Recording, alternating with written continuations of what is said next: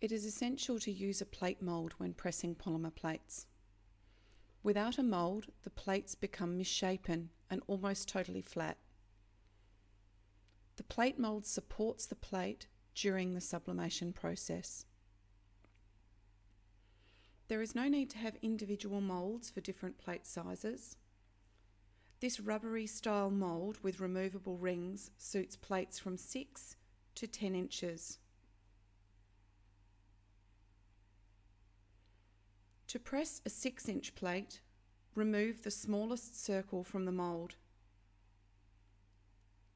It is designed so the plate sits slightly above the mould around the edges.